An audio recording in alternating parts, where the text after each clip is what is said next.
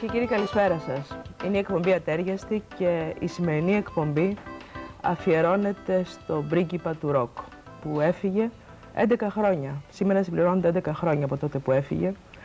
Και βέβαια στο δικό μας μυαλό και στη δική μας ψυχή είναι εκείνος ο φοβερός τύπος, ο πολύ όμορφος και ο πολύ ταλαντούχος με το βυσινί που κάμισο και τις μπότες να τραγουδάει και να μας συνεπέρνει. Μαζί μας ε, σήμερα εδώ στην εκπομπή είναι η αδελφή του, η Μελίνα. Καλώς ήρθες. Βιολόγος, καθηγήτρια. Καλώς Μια καταπληκτική κυρία, θα την γνωρίσετε κι εσείς σε λίγο. Είναι ο Γιάννης Πυρόπουλος Μπαχ. Γεια μας. Γεια μας και έχουμε και ένα καταπληκτικό κρασί που μας έχουν στείλει από τη Θεσσαλονίκη πάνω Ηλιόπουλε. Από εδώ ο Πάνος, ο, ένας από τους καλύτερους του φίλους, φίλους δημοσιογράφος, μουσικός παραγωγός, στιγουργός, τα πάντα. Και το κρασί ποιος μας το έστειλε; Η φίλη του η Νίκη. Πίνουμε λοιπόν στην υγεία Στην υγεία του, του Παύλου. στην υγεία όλων. Κοντά μας η Δήμητρα Γαλάνη. Καλώς ήρθες Δημητράκη. Καλώς σας βρήκα. Ε, και ο Άγγελος Μαστοράκης. Είναι καλό το κρασί; Μια χαρά. Μια χαρά είναι. Το είπε όλο. Το ήπια όλο. Ήπια και της Δήμητρας. Ήταν καλό το κρασί. Συγγνώμη, ναι, αυτό είναι το σωστό. Ήταν καλό το κρασί. Εδώ έχω ένα, την πρώτη σελίδα ενός άλμπουμ. Εδώ βλέπουμε τον Αλέξη Ζορμπά, τον προπάπο, έτσι, του Παύλου Σιδηρόπουλου. Και δίπλα έχω Την κόρη του Αναστασία. Και Εδώ. μητέρα της μητέρας μου Τζένης και μητέρας του Παυλάκη. και ο το Παύλος κάτω. Ε, ένα μεγάλο δώρο που μας κάνει σήμερα ο Πάνος ο Ηλιόπουλος είναι ότι για πρώτη φορά στην τηλεόραση παρουσιάζουμε 8-9 τραγούδια όσα προλάβουμε του Παύλου Σιδηρόπουλου που γράφτηκαν πότε, πώς, Βέβαια. κάτω από ηρωικές έτσι, συνθήκες. Ναι, οι, ηρωικές, οι συνθήκες της εποχής σε σχέση με σήμερα ήταν ηρωικές. Γράφτηκαν το Φλεβάρι το 89 σε ένα τριήμερο που έπαιζε ο Παύλος στο μετρό. Σε VHS φαντάζομαι, Σε έτσι. VHS με ένα δικάμερο με το φίλο το Φραγκίσκο και τη γυναίκα του της Σερίζ. Πιάναμε και οι, οι δύο καμεραμάν ήταν η Σερίζ και εγώ. Πιάναμε και οι δύο για πρώτη φορά κάμερα στα χέρια μας. Απλά εγώ ήξερα Άρα τα να κομμάτια. μας συγχωρήσουν κάποια Είμαστε πλάνα. στο πατάρι του μετρό, τραβάγαμε από, από πάνω, δίπλα είχαμε την προσολίτσα, κάναμε και κάναμε όλα εκεί, Όλες τις δουλειές. όλες τις δουλειές και αυτό.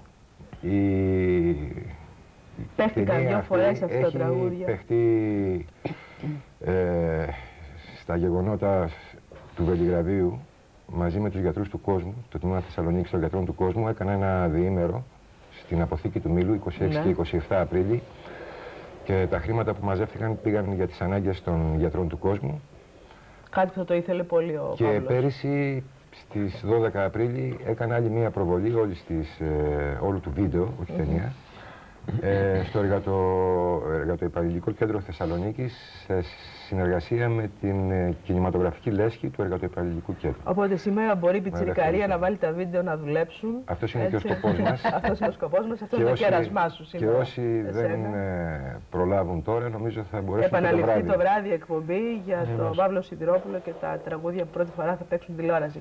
Ε, Άγγελε, είσαι ο πιο παλιός του φίλος, έτσι δεν είναι από το 70. Δεν είμαι ο πιο παλιός φίλο. Παλιά του φίλη πρέπει να είναι μια Η αδερφή αδερφή. του, βέβαια. Ε, ναι, ίσως και το 69, δεν θυμάμαι, πρέπει να Τότε συναντηθήκαμε γνωριστήκατε. το χειμώνα 69-70.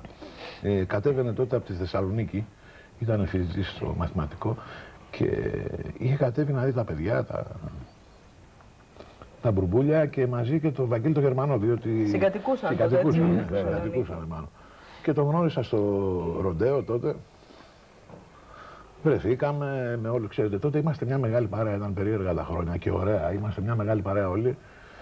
Ε, ήρθε, ξανάφυγε, ξανάρθε, μέχρι που κατέβηκε με τον Παντελή τον Δελγιανίδη και άρχισε πραγματικά να κάνει αυτό που ήθελε. Που αυτό που ήθελε ο Παύλος πάντοτε ήταν να τραγουδήσει. Και να Αυτό ήθελε. φτιάχνουν μαζί Ναι, ναι, ναι. καταπληκτικό ήχο. Πολύ καλός ο ήχος του ήταν.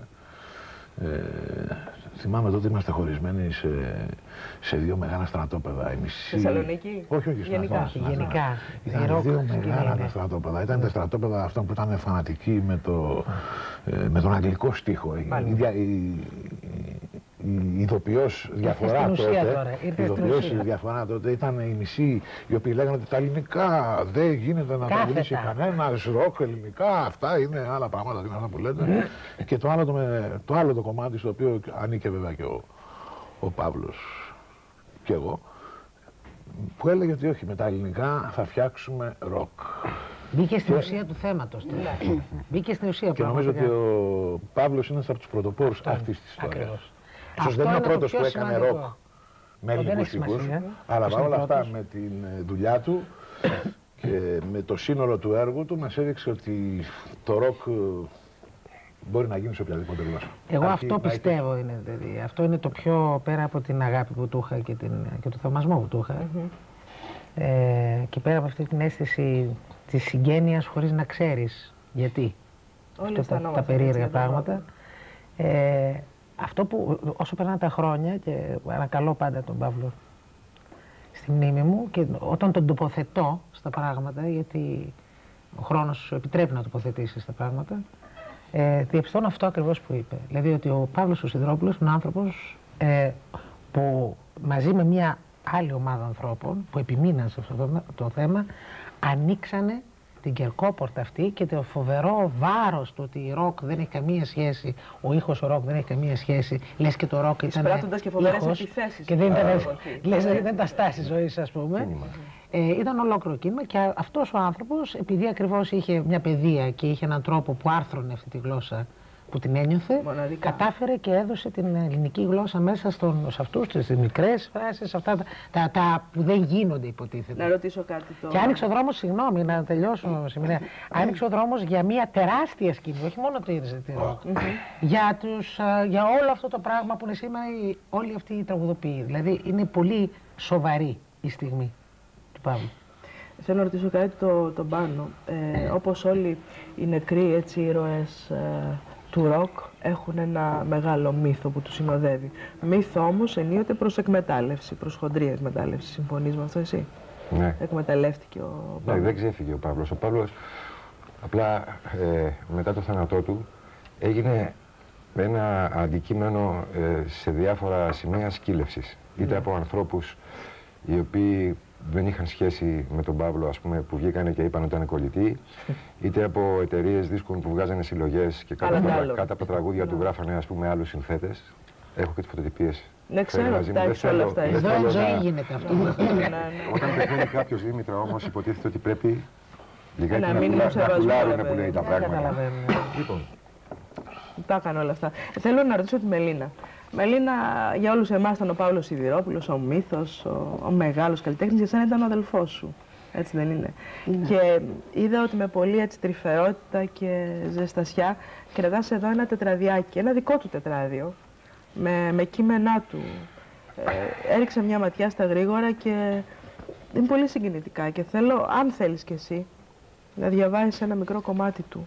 Το έχεις διαλέξει εσύ. Τώρα έτσι Άμα ξεκινώντας. θέλεις, άμα θέλεις, άμα δεν θέλεις, αργότερα. Ωραία είναι να ξεκινήσεις έτσι. Πριν πούμε οτιδήποτε άλλο στον. Από σένα. Ε, τώρα από ποιο μέρος να ξεκινήσω έτσι που να είναι. Α, ε, αυτό το είχε γράψει έτσι από ένα ταξίδι του στη Ιουγκοσλαβία. Είναι και λίγο βέβαια ποιητική αδεία δοσμένο ναι, ναι. και με λίγο φαντασία ας πούμε. Ε, ας, ας διαβάσω ένα κομματάκι έτσι. Ναι. Να νιώθεις τον ποταμίσιο αέρα του Δούναβη να διαπερνάει τους κουρασμένους πόρους του κορμιού σου και να χαμογελάς. Απέναντι στη νέα πόλη, στο νέο Βελιγράδι. Όλα αυτά, φίλε μου, μου φέρνουν μια υγρασία στα μάτια, γιατί τότε καταλάβαινα ότι ήμουνα μόνος.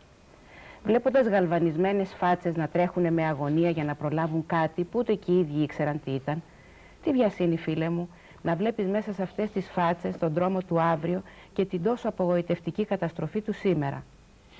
Το φάσμα αυτό ήταν που σε έκανε να κλείνεσαι όλο και πιο πολύ στον εαυτό σου. Γιατί πάνω που ορμούσες να γευτείς από το περιβάλλον, ο ήλιγκος της αγωνίας τους σε τύλιγε και έτσι προτίμαγες την προσωπική ηρεμία του εαυτού σου. Τότε καταλάβαινες ότι όλος ο κόσμος, στην ουσία, ήταν και ο καθένας μόνος του. Έλεγες τότε ότι δεν έκανε για σένα η Ιουγκοσλαβία. Στην πραγματικότητα όμως, τον εαυτό σου κορόιδευες, γιατί τα ίδια είχες βρει και στην Ελλάδα. Εκείνο που αλήθεια μου έκανε μεγάλη εντύπωση ήταν ότι οι Ιουγκοσλάβοι τρελαίνονταν κυριολεκτικά για τζάζ μουσική. Έτσι, σαν έφτανε η βραδιά, έπαιρνα σβάρνα τα διάφορα κλαμπ στο Βελιγράδι και άφηνα τον εαυτό μου να κυλήσει στους δικούς μου πια κόσμους, που τους έδινα το δικαίωμα να εμφανιστούν μόνο όταν η μουσική με απελευθέρωνε από τις τόσες μου καταπιέσεις. Και τότε έβλεπα το μουσικό σαν αδελφό μου, το διπλανό για φίλο μου. Και τότε, μόνον τότε ένιωθα κι εγώ ότι μπορώ να ανήκω εκεί που βρισκόμουν. Η μουσική είναι η μόνη γλώσσα που όλος ο κόσμος καταλαβαίνει. Ο μόνος τρόπος συνεννόησης. Είναι μια αδελφοσύνη. Να το θυμάσαι φίλε μου. Καταπληκτικό. Εσένα τι σου έχει λείψει πιο πολύ από τον Παύλο αυτά τα 11 χρόνια; Το...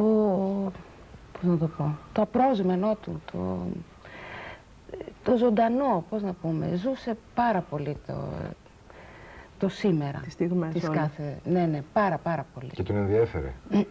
Δεν ήταν από, από το γίγνεσθε. Βέβαια και αυτό φαίνεται και από τη Ε, μουσική του και από τα γραπτά του και Εί- από όλα. Είχε μια κριτική στάση απέναντι στη ζωή που δεν την είχαν άνθρωποι οι οποίοι δεν είναι εξαρτημένοι από ουσίες.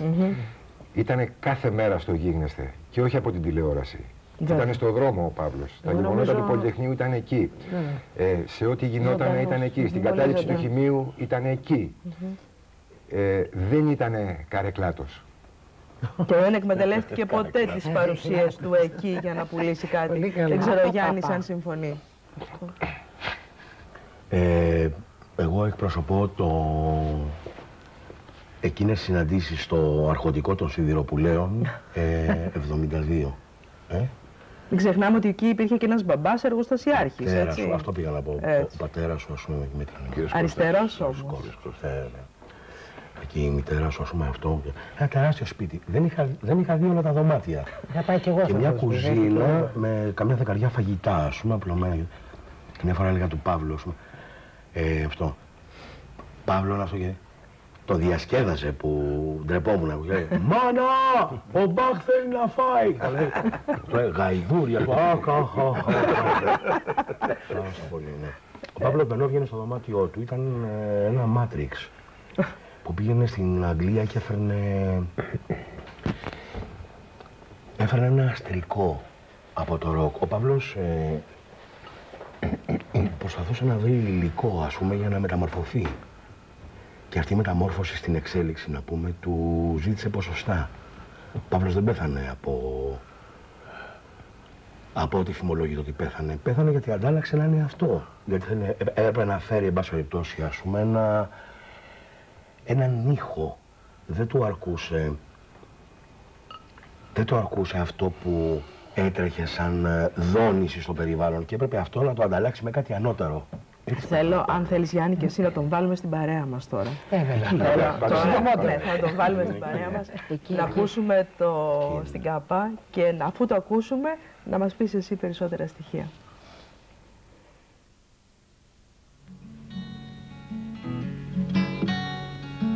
Όταν κάποιο βράδυ θα σε ξυπνήσει από το μηχαυγί σου και τρέξει στη μαμά σου να το πεις. Και εκείνη τρομαγμένη μες στο ψυγείο κλείσει τη φωνή σου. Θα είναι αργά μεσάνυχτα και θα έχεις κουραστεί Όταν θα αγαπήσεις το γέλιο σου και την αναπνοή σου και δεις πως έχεις κάτι να μας πεις. Στο πλάι σου ο άνθρωπος που διάλεξες βιτρίνα στη ζωή σου. Τρία κοντά αργύρια αντίτιμο σιωπής. Και τώρα πες μας τι θα γίνει αν κάποτε θα αγγίξεις στο κορμί σου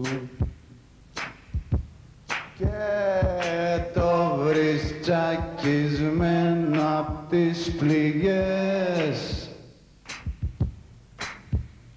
και γύρω σου κούκλες χλωμές ανίκανες να ακούσουν τη φωνή σου. Σύμφωνα. Και αλήθειες σου στο πάτωμα. Μάλιστα. Πώς τον είπες Γιάννη, ο Δανδής. Ο Δανδύης. Ναι, του ε, ροκ.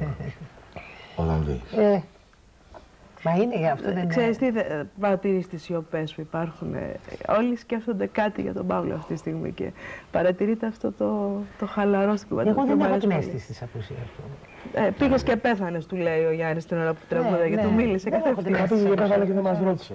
Τελευταία φορά που τον είδα, τον είδα στο γήπεδο του Απόλλων Αθηνών. Έξω είχε κυριεύσει μια μανία με τη Β' Εθνική. Α, στο κάποτε. Ίγκυπο. Ναι, ναι, ναι. Ναι, ναι, ναι, ναι. Είχε κυριεύσει μια μανία με τη Β' Εθνική και πήγαινα από κοντά, ας πούμε. Κάτι είχα στο νου μου να σημειώσω, εν πάση περιπτώσει. Και τον βλέπω με, με κάποιον, ας πούμε, με έναν λινατσόδι, ας πούμε. Λινατζόδι Με το τύπου. χέρι- με το χέρι μπανταρισμένο ο Παύλος, είχε κοιμηθεί, φαίνεται να πούμε, και άφησε όλο το βάρος στο χέρι. Ε, όλο αυτό το υπαρξιακό βάρος, ας πούμε. Ναι. Και όσο ήταν ένας δίπλα του, ας πούμε, τον άφηνε ρούπι, να πούμε. Και... Απόλλων Αθηνών, ε, πανσεραϊκός.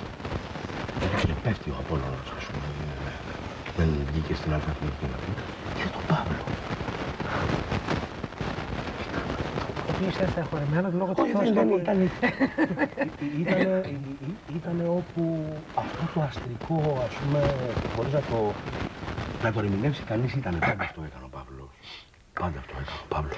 Μου είπες θα φύγω, λέγεται το επόμενο τραγούδι και έχει σχέση απόλυτη με αυτά που λέμε και να τον ξαναδούμε και να τον ξαναχαρούμε.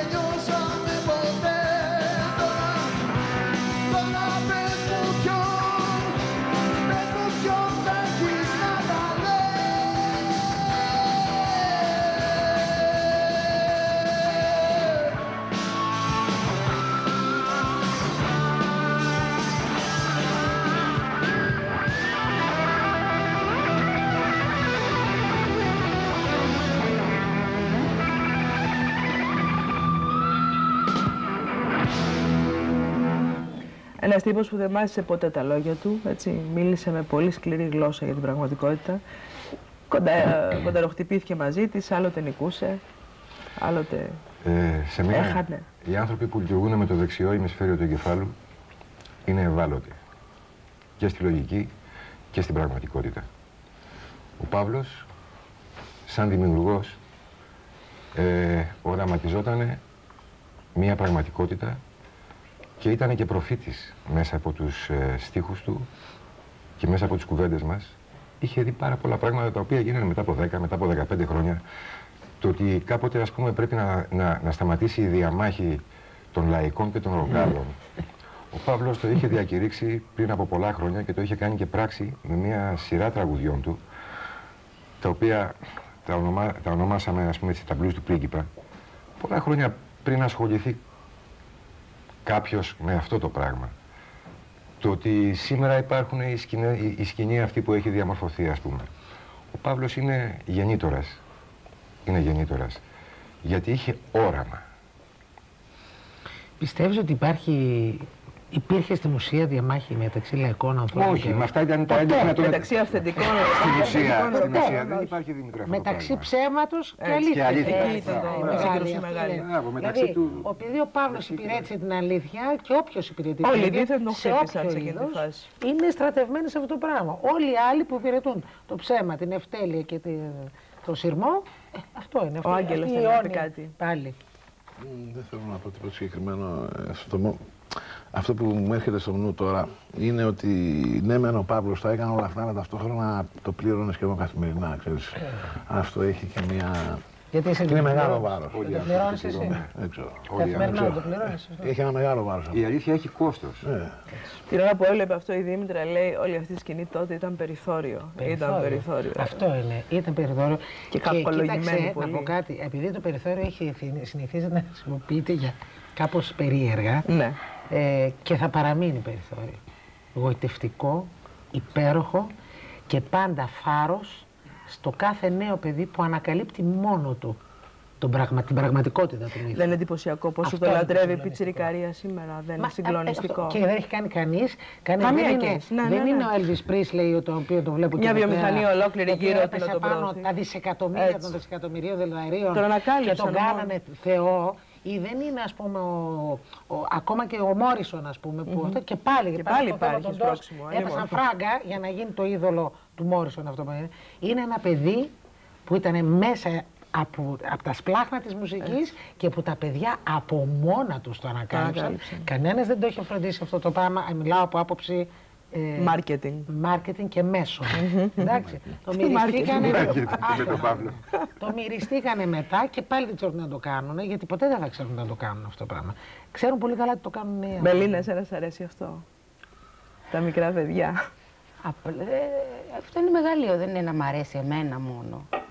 Αυτό μ' αρέσει γενικά στη ζωή. Πώς να πούμε, δηλαδή είναι ωραίο πράγμα το γνήσιο, το αληθινό και νομίζω ότι πάντοτε αγκαλιάζεται το γνήσιο και το Σε αληθινό. πλησιάζουν μικρά παιδιά σήμερα να σου μιλήσουν για τον αδελφό σου; Ναι, αλλά νιώθω λίγο δύσκολα είναι αλήθεια. Δηλαδή, δεν ξέρω, εγώ πιστεύω ότι μ, για να καταλάβει κάποιος για τον Παύλο δεν έχει παρά να ακούσει με προσοχή τη δουλειά του. Και τη μουσική Τους του και στίχους αυτά που του έχει και τη γράψει μουσική του. ακριβώς. Δηλαδή, Και αυτά που οι έχει πει. στίχοι του είναι, ε, σε οδηγούν στο είναι του. Πώς να πούμε, στο, στο χαρακτήρα Θα τους, κάνουμε ένα στο- μικρό διάλειμμα τώρα και θα επανέλθουμε με ακόμα περισσότερα τραγούδια του Παύλου Σιδηρόπουλου και κουβέντα.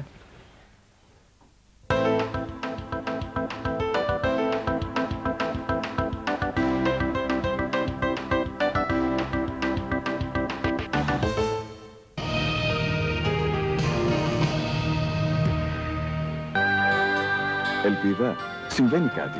Η Τζέννη με τον Νίκο ψώνισαν δερμάτινα από την Ιταλία. Η Κέτι πυρογούν από το Παρίσι. Ενώ εγώ Αυτό είναι. Αφού στην Ελλάδα υπάρχει ο Τζελάλης. Τζελάλης. Μάρνη 45, Σόλωνο 44.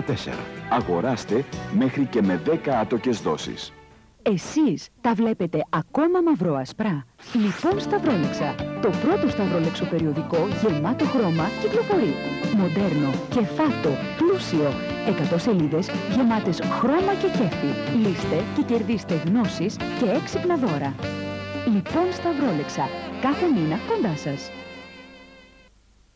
Ελάτε στο ιδιόκτητο και ανακαινισμένο ένα γέμα Πυραιός και Πέτρου Ράνι 1 και αγοράστε και με επιπλοδάνιο και με άτοκες δόσεις.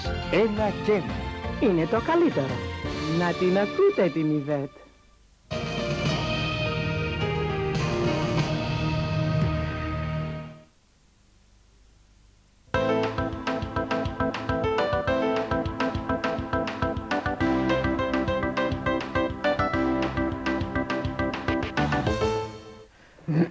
Μας έλεγε εδώ η αδελφή του Παύλου Σιδηρόπουλου Μελίνα ότι αυτό που έλεγε πριν η Δήμητρα η Γαλάνη το έχει γράψει πριν από πολλά χρόνια ο Παύλος σε, αυτό το, σε αυτή τη σημειώση, το τετράδιο.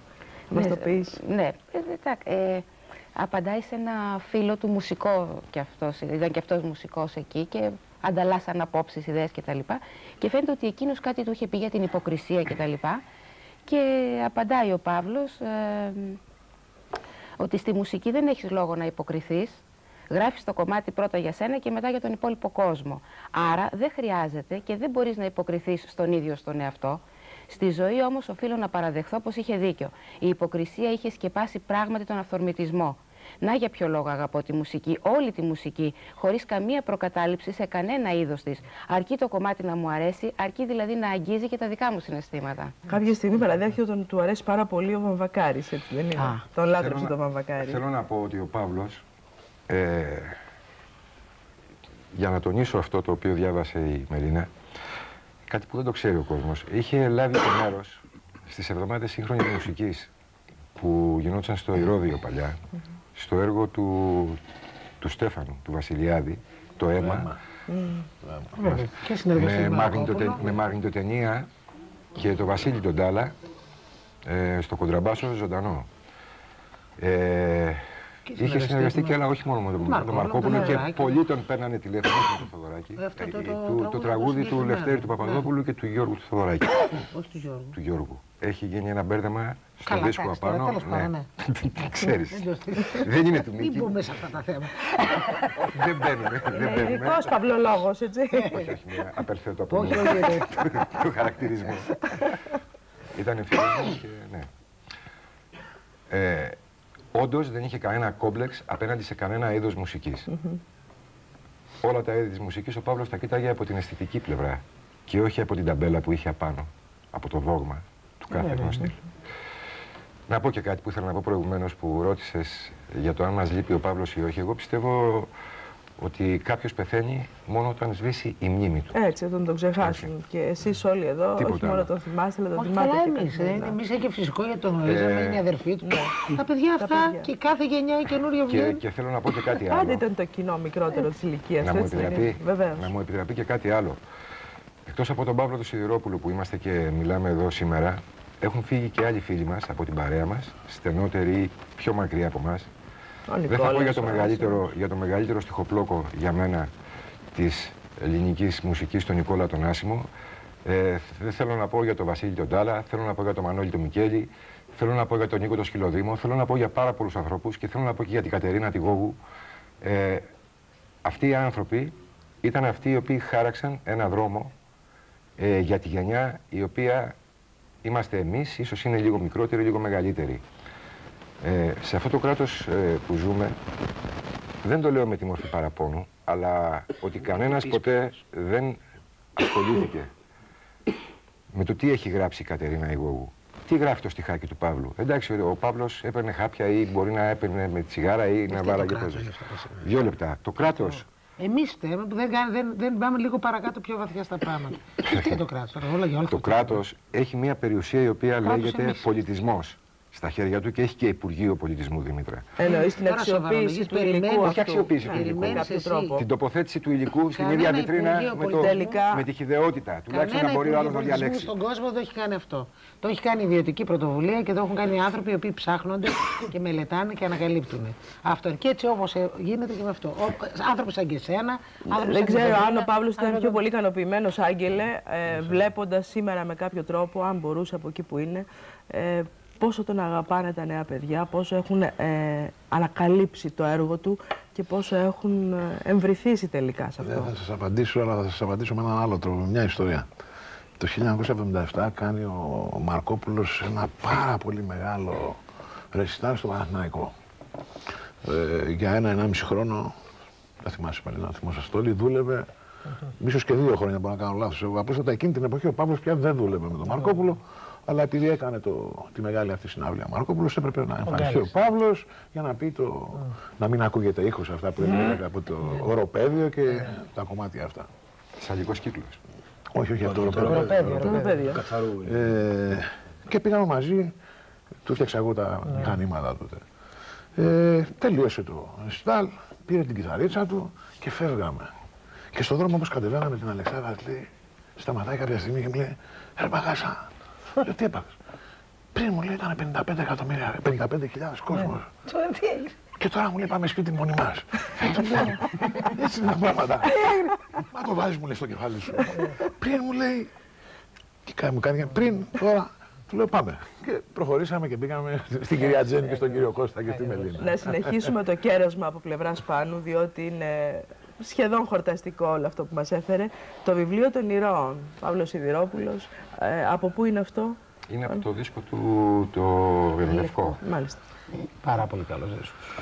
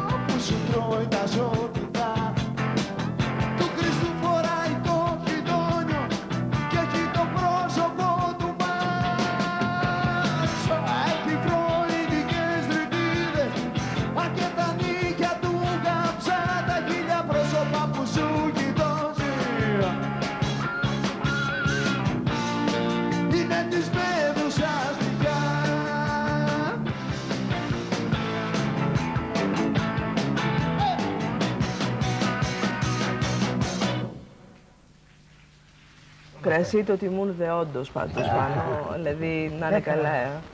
Η νίκη Είναι από τη γλυκό, Θεσσαλονίκη. παιδί μου, Είναι αυτό σαν τον γλυκό Παύλο. πιωτό. Είναι... Πώς το είπες αυτό το ωραίο βλέποντας το τραγούδι του Δημήτρα, η ψυχή του και η άβρα του μας σώζει, δεν έχει φύγει. Αυτό μας σώζει. Και η ψυχή ιδιαίτερα του το- και η άβρα του μας σώζει και σώζει ψυχές. Νεανικές ψυχές που ακουμπάνε πάνω του το αίσθημά τους και δεν μπορούν έτσι με αυτόν τον τρόπο να αντέξουν το καθημερινό ψεύδος.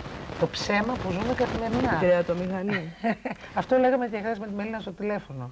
Ότι ζει, ε, γιατί η Μελίνα έχει το προνόμιο να, είναι- να μπορεί να είναι κοντά σε νέους ανθρώπους διδάσκοντας και έχει αυτό το, Ε, μπορώ να πω ότι και εγώ κατά κάποιο τρόπο και ένας τραγουδιστής ο οποίος απευθύνεται σε νέους ανθρώπους έχεις αυτή την αίσθηση ότι κάτι τους λες, κάτι τους περνάς από τη γνώση σου, από την πείρα σου, από το αίσθημά σου και εκεί πέρα ακουμπάνε την ψυχή τους για να μπορέσουν να αντιμετωπίσουν γιατί τα παιδιά επειδή είναι παρθένοι ε, ε, παρθένω το κεφάλι τους και η ψυχή τους, παίρνουν την πληροφορία αμέσως, δεν χρειάζεται Να σου πω Δημήτρη, ήταν ε, κομμένος κατά κάποιο τρόπο από τηλεοράσει, από ραδιόφωνα.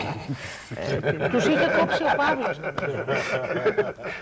Μήπως ήταν κομμένος. Ο Παύλος τους είχε κόψει και κομμένα γενικά εκείνη την εποχή και πάντα ε, όχι δεν έχει αλλάξει τίποτα, δεν έχω την ψευδέστηση, είναι οτιδήποτε είναι, θεωρείται επικίνδυνο ναι, ναι, ναι, ναι, ναι. Ε, στο να ξυπνήσει μια συνείδηση. Ε, αυτό είναι τώρα της πάσης γνωστό, μιλάμε.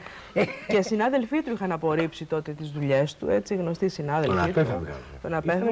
Αυτό δεν το τα πολλά πολλά μαζί. Αυτό ήταν ένα άγνωστο τοπίο. Είχε θεωρηθεί ατάλλαντο συγκρότημα η Σπυριδούλα ή απροσάρμοστη μέτρη. Με μια διαρκής μου τσαντίλα παλαιότερη, ας πούμε. Εγώ πάντως δεν το έχω ακούσει ποτέ αυτό. Εγώ το έχω διαβάσει. Ναι, ναι. Πολλοί λένε ότι αυτό ο Παύλος και αυτό και τέτοια που εγώ με τον Παύλο. Κανένας με τον Παύλο. Μερικοί από αυτούς, πέρα από αυτό, τότε πιθανόν να τους ο Παύλος τι ώρα είναι, περνώντα, ας πούμε. Ναι, και... Α, μιλάς για τους άλλους, δεν μιλάς για τους δικούς μας. Κατάλαβα. Μετά παρουσιάζει κανένα κολλητή. Ναι, ναι, ναι. Ήταν άγνωστο αυτό το τοπίο τότε, δεν ήταν αυτό, ήταν άστο εκεί.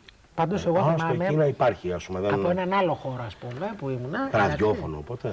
Ε, δεν είχε ποτέ υποθεί κάτι, ήταν, υπήρξε μεγάλο, υπήρχε πολύ μεγάλο σεβασμός και αγάπης σε αυτό που έκανε ο Παύλος. Τώρα μιλάω γενικά στο μουσικό χώρο, από mm -hmm. μουσικούς, τραγουδιστές, συνθέτες. Τώρα, αν υπήρξαν και κάποιοι κρατήνοι οι οποίοι βγήκαν. Α, είπες τη σωστή λέξη. Ναι, είπες τη σωστή λέξη. Να προσθέσω και κάτι, για να μην τα ρίχνει ξέρω εγώ, στο κράτος κάποιος όλα για αυτά. Η λογοκρισία ξεκίναγε μέσα από την ίδια την εταιρεία. Δηλαδή, όπως φαίνεται και από, ντοκουμέντα, το, από κάποια ντοκουμέντα που έχει αφήσει με τη φωνή του ο Παύλος, ε, η λογοκρισία στο, στα κομμάτια του, του Ενλευκό ξεκίνησε μέσα από την εταιρεία. Και ξέρεις κάτι, Εβάνο, θέλω να, να υποθεί στον κόσμο, γιατί υπάρχει μια λάθος εντύπωση σε κάποιους, λίγους φαντάζομαι και ελπίζω, ότι ο Παύλος προέτρεπε τα παιδιά σε λάθος δρόμους. Το ακριβώς αντίθετος. Τελείως αντίθετος. Δηλαδή, το δεν τελείως υπήρξε, αντίθετος δεν υπήρξε συνέβαινε. άνθρωπος με ιδιαιτερότητα που η ιδιαιτερότητα μπορεί να είναι από τις σεξουαλικές του προτιμήσεις μέχρι το τι Ακριβώς. ποιοτό πίνει ο Προτιμάει. καθένα και να έβγαινε ο, Πα, ο Παύλος, ερχόταν στις συγκεντρώσεις ΕΣΕΑΝ που κάνανε. Ακριβώς. Και μίλαγε στα παιδιά για την πρέζα, ένας άνθρωπος από μέσα. Το κομμάτι ΙΤΑ, το οποίο από την εταιρεία, επαναλαμβάνω, ε, μπήκε η τροχοπέδη και έγινε Ναι, όλη ναι. αυτή η βαβούρα τότε με τον λευκό με το δίσκο, επί εποχής Σπετσίλα, ε, το έκοψαν μέσα από την εταιρεία. Όπου είναι μια μαρτυρία. Ο Δεν θα Παύλος βάλω προέτρεπε, τίτλο το λέμε και το συγκλονιστικό ή όχι. ξαναλέμε και θέλω να Και τι ακούγεται. λέει; Προέτρεπε τα παιδιά να μην κάνουν χρήση. Ένα, μα τι λέει, άστε τι, έλεγε. το, το τραγούδι του τι λέει. Ένα φιξάκι δεν είναι παρά μια στιγμή και όμως μπορεί να γίνει μια ολόκληρη ζωή. Μιλάει για θανάτου άτο- α, άγγελο σωματοφυλάκα. Σωματοφύλακα. Ναι, ναι, ναι. Αυτό λοιπόν, τη θάνατο, λογοκρισία όλο το και το, φοβερό και το κομμάτι. θάνατο και ε, βέβαια. Μην το συζητάμε τώρα αυτό. Είναι... Ε, Τώρα, εντάξει, Θέλω μην να το- συζητάμε. να το Απλά λέμε θέλω και να να πω το λέμε. κάτι. Λέει ο Πάνος κάτι. Η λογοκρισία της εταιρείας. Ακούγεται αυτό τώρα που το λέμε βαρύδικο. Ένας λοιπόν κακόγουστος, αμόρφωτος, άσχετος αποφάσισε να κάνει μάρκετινγκ άσχετο, άθλιο και ανεγκέφαλο σε έναν καλλιτέχνη και αυτό είναι η λογοκρισία. Ο οποίος που λέει. κατέθετε την Δηλαδή ψυχή κάτι του. εκεί κάπου κρέμονται τα πράγματα. Είναι Δεν θέμα είναι βλακείας, σωστή. δηλαδή. Θέμα Ναι, ναι, ναι. βλακείας. Κρετινισμού, το Δεν είπε και είναι πριν. δηλαδή, γι' αυτό λέω κρετίνος πάντα. Ακούγεται η λογοκρισία της εποχής. Η λογοκρισία της εποχής, μάλιστα υπήρχε λογοκρισία, η κοινωνική λογοκρισία. Και σήμερα. Αυτό μάλιστα θα το συζητήσουμε. Αλλά τώρα μέσα σε μια εταιρεία, ένας τύπος, ο οποίος είχε έρθει από το Σον Σον Σον και ήθελε να κάνει, ας πούμε, ότι κάνει τον παραγωγό. Και πήγαινε και πουλάγε Παραγωγός, μούρι στον, ναι, πουλάγε μούρι στον Παύλο. Και ο Παύλος τον είχε λίγο, τον κοίταζε και λίγο σαν μεταξύ μίγα και πετούμενου. Λέει πώς θα, πώς θα το κάνουν αυτό; Ο Παύλος είπε και ξαναείπε μακριά από το παραμύθι της ηρωίνης. Έτσι, αυτό μακριά θέλω από να όλα το τα παραμύθια, υπογραμμίσουμε. λέει. Από όλα τα παραμύθια, Μακριά παραμύθια από όλα τα ειδικά από αυτή την παραμύθα. λοιπόν, θα κάνουμε ένα διάλειμμα για το δελτίο ειδήσεων και επιτέλους χαρά, για ένα τσιγάρο. χαρά να το- για ένα τσιγάρο και επανερχόμαστε. Τώρα θα το ανάψω και εγώ, το λέω.